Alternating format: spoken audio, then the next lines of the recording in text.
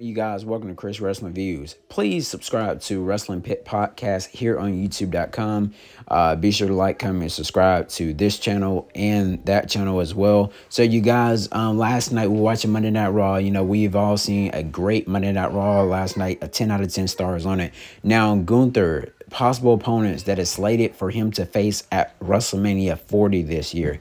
I mean, uh, Gunther pretty much came out. Um, and, you know, I'm saying like, you know, Jey almost had me beat last week until, you know, his family came in.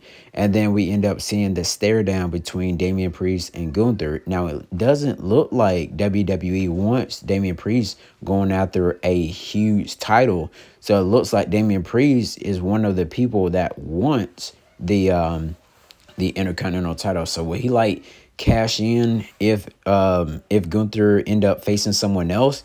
Now and then another thing that Gunther mentioned uh through the show that he was like, Who should I fight? He said some of you guys thinking R-Truth, uh some of you guys thinking the Miz.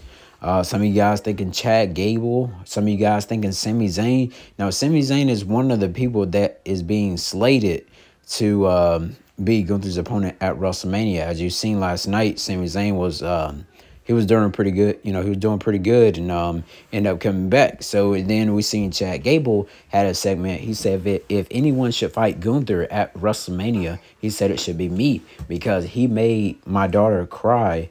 And he said, you know, saying I'm a proud father and I want to uh, have another rematch. So please, Adam Pearce, take this into consideration. So y'all let me know what y'all think.